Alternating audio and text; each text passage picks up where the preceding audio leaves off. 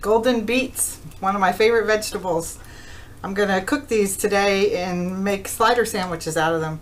So watch how I do it. Maybe you'll like to do it yourself. All right, first thing I'm gonna do is cut off the greens. These are really nice healthy greens. I'm gonna cut these up and we're gonna include that in part of the recipe.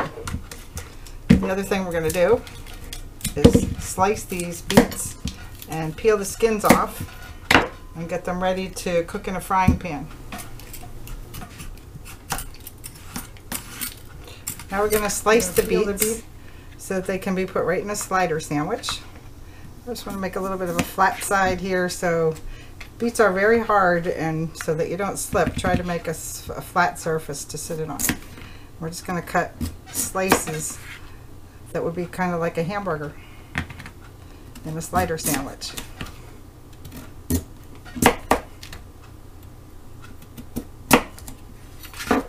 Something like that.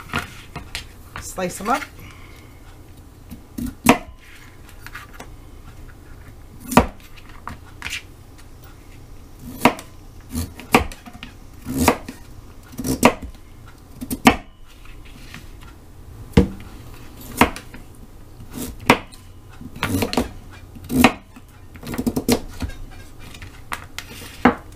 Okay, we're going to put the beet slices into a frying pan.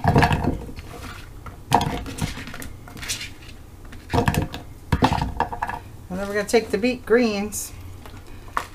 If they came to you as a healthy bunch of greens, sometimes uh, the greens are a little bit wilted, but these look nice and healthy. I'm just going to chop up the greens a little bit and we're going to add that to the recipe. Lots of vitamins and minerals. And put the greens right in the pan. I'll leave most of the stems out of the picture here.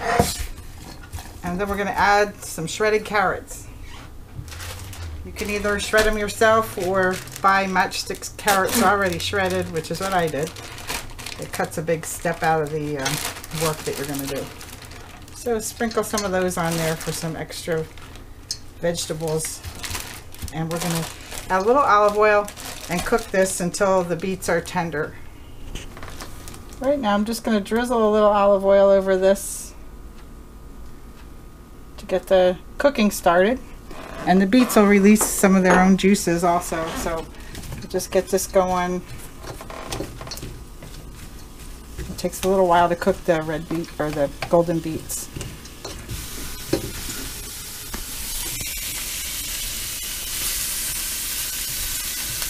What I like to hear, that sizzle.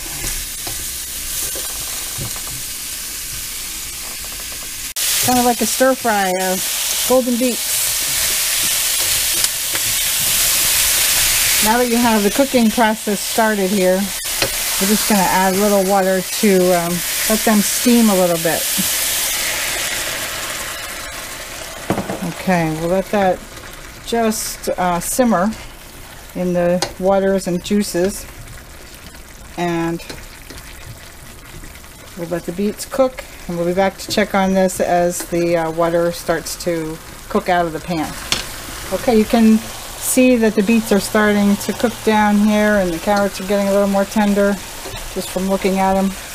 While that's taking place, it takes a little while, I'm going to melt some butter, half a stick of butter.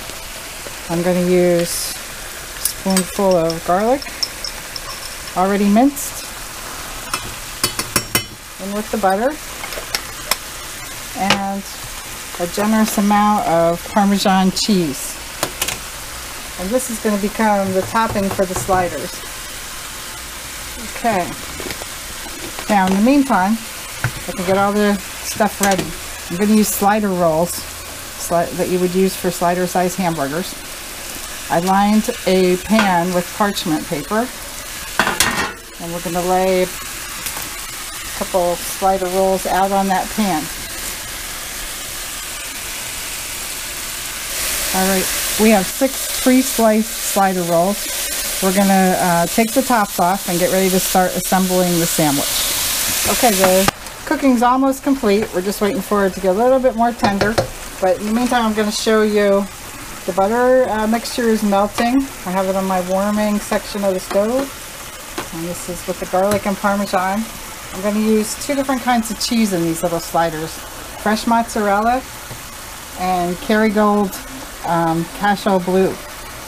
This is an Irish cheese. It's going to be delicious. So I'm going to get these ready and start assembling the sandwiches. We're going to start assembling the sandwich with a chunk of Cashel Blue cheese and I'm going to top that with a slice of mozzarella. I'm going to do that to each one of these and we'll be ready to add a piece of golden beet. Okay, now back to the pan. Let's take a look at are they tender enough to stop the cooking. So I'm going to take the spatula and cut through one. Oh, look at that, beautiful, nice and tender. We're going to transfer this right to the cheese. Start to build these sandwiches.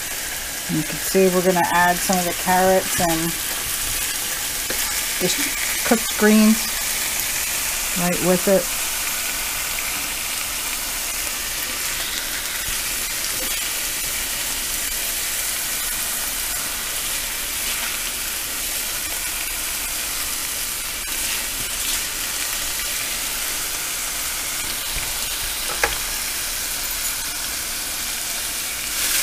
Make sure each one of the sandwiches gets some of the delicious vegetables.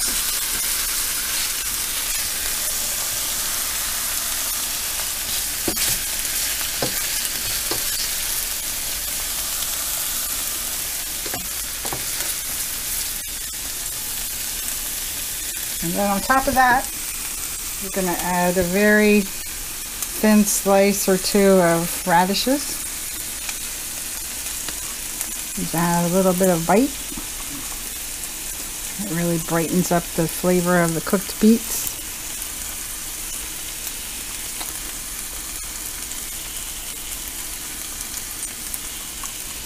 And then on top of that, I'm going to add another slice of fresh mozzarella. I think we have enough blue cheese on the bottom of that little stack. And on top of this, I'm going to add some creamy ranch.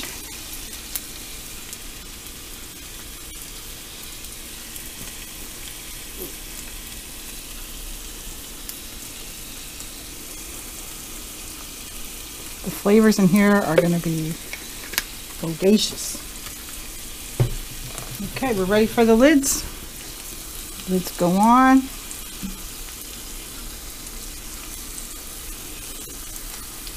And now we're going to brush the tops with this mixture of melted butter and cheese. Now I have the, the sliders separated a little bit so that the, the melted butter runs down in between each of the sliders. And that way we'll get the flavors of the butter and the garlic and the cheese all down the sides. When you pick this up to eat it, it'll be loaded with flavor. Now we're going to put these in the toaster oven today. You can do a big tray and put it in your regular oven if you like that better, but for today's purposes, we're making a small batch and we can do them in the toaster oven for about 350 for about 20 minutes because all the ingredients inside are nice and hot. Okay, just going to pour a little extra. Okay, just stop there. Then I'm going to add sprinkle of Parmesan because this will get a little bit toasty on the top. I got this idea from a friend that, that I worked with, Mark Barnes, and I did alter the recipe a little bit, but I think this will come out pretty good. Let's stick it in the oven. Okay, we're going to put this in the bottom rack of the oven. Take the top rack out first. 350 degrees, 20 minutes. All right, check this out. Look at those golden beet sliders. Wow, they smell so good. Let's put one on a plate here. Look at that stack up of cheeses and vegetables.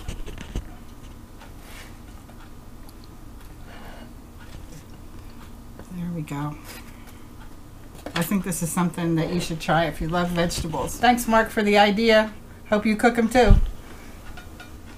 So give it a try. Thanks for watching me put these sliders together. And if you like my videos, subscribe. Stop back and see some more recipes later this week.